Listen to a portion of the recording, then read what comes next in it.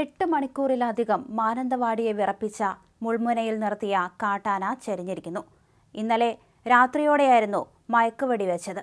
മയക്കുവെടി വെച്ച ശേഷം ആനയെ വണ്ടിയിൽ കയറ്റി കൊണ്ടുപോകുന്നതിനിടെ അസ്വസ്ഥതകൾ ആന പ്രകടിപ്പിച്ചിരുന്നു. അതേസമയം ഏറെ നേരം നീണ്ട അനിശ്ചിതത്വങ്ങൾക്കൊടുവിലായിരുന്നു ഇന്നലെ കാട്ടാനയെ മയക്കുവെടി വെച്ച് പിടികൂടാനുള്ള ഉത്തരവിറങ്ങിയത്.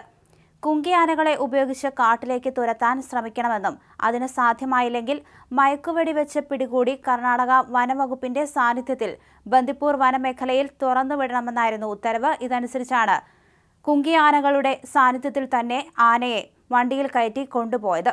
അതേസമയം സംസ്ഥാന principal chief conservator and chief wildlife and വാർഡനാണ് ഇത് സംബന്ധിച്ചിട്ടുള്ള ഉത്തരവിറക്കിയത്. ഇന്നലെ രാത്രിയോടെയായിരുന്നു തണ്ണീർ മിഷൻ ദൗത്യത്തിലൂടെ തന്നെ ആനയെ കുങ്കിയാനകളുടെ സാന്നിധ്യത്തിൽ ബന്ദിപ്പൂർ മേഖലയിലേക്ക് തുറന്നുവിടാൻ കൊണ്ടുപോയത്.